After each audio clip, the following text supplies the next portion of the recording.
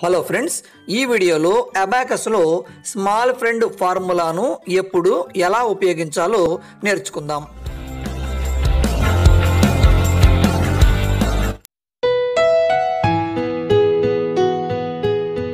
ఉదాహరణకు మూడు ప్లస్ నాలుగు చేయాలనుకుందాం.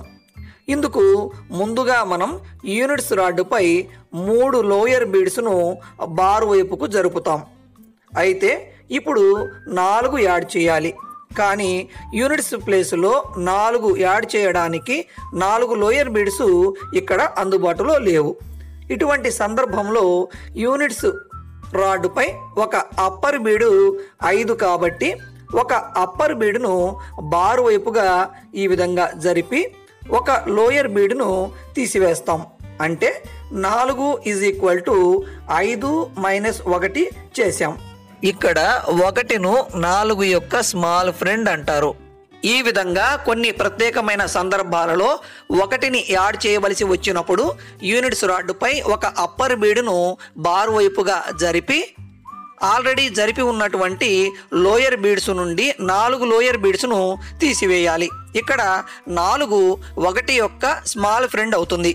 ఇదే విధంగా రెండును యాడ్ చేయవలసి వచ్చినప్పుడు యూనిట్స్ రాడ్డుపై ఒక అప్పర్ బీడును బారు వైపుగా జరిపి ఆల్రెడీ జరిపి ఉన్నటువంటి మూడు లోయర్ బీడ్స్ను తీసివేయాలి. ఇక్కడ మూడు రెండు యొక్క స్మాల్ ఫ్రెండ్ అవుతుంది.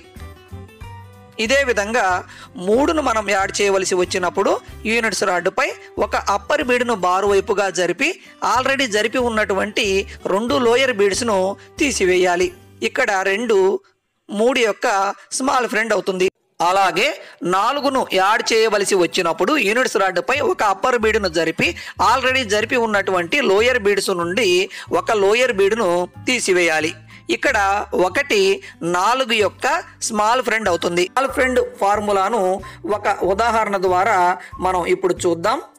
నాలుగు ప్లస్ రెండు చేయాలనుకుందాం.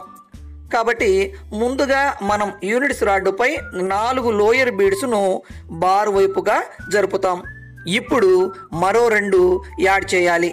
కానీ యూనిట్స్ రాడ్డుపై రెండు లోయర్ బీడ్స్ అందుబాటులో లేవు. కాబట్టి స్మాల్ ఫ్రెండ్ ఫార్ములా ప్రకారం రెండు ఈజ్ ఈక్వల్ టు ఐదు మైనస్ మూడు. కాబట్టి యూనిట్స్ రాడ్డుపై ఒక అప్పర్ బీడు విలువ ఐదు కాబట్టి ఒక అప్పర్ బీడును బారు వైపుగా జరిపి ఆల్రెడీ ఉన్నటువంటి లోయర్ బీడ్స్ నుండి మూడు లోయర్ బీడ్స్ను తీసివేస్తాం. అంటే నాలుగు ప్లస్ మూడు ఈజ్ ఈక్వల్ టు ఐదు ప్లస్ రెండు దట్ ఈజ్ ఈక్వల్ టు ఏడు అవుతుంది.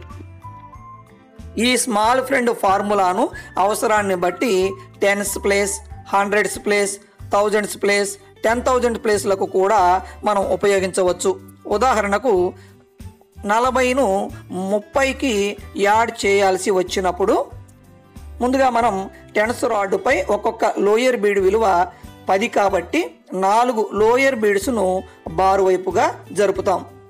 అయితే ఇక్కడ మనం మరో ముప్పై యాడ్ చేయాలి. కానీ టెన్స్ రాడ్డుపై ఈ బీడ్స్ ఏమీ అందుబాటులో లేవు. కాబట్టి స్మాల్ ఫ్రెండ్ ఫార్ములా ప్రకారం ముప్పై ఈజ్ ఈక్వల్ టు యాభై మైనస్ ఇరవై. కాబట్టి ముప్పైని మనం యాడ్ చేయడానికి టెన్స్ రాడ్డుపై ఒక్కొక్క అప్పర్ బీడు విలువ యాభై కాబట్టి ఒక అప్పర్ బీడును బార్ వైపుగా జరిపి రెండు లోయర్ బీడ్స్ను తీసివేయాలి. విధంగా నలభై ప్లస్ ముప్పై ఈజ్ ఈక్వల్ టు డెబ్బై అవుతుంది. ఈ విధంగా స్మాల్ ఫ్రెండ్ ఫార్ములాను అవసరమైనప్పుడు మాత్రమే మనం ఉపయోగించాలి.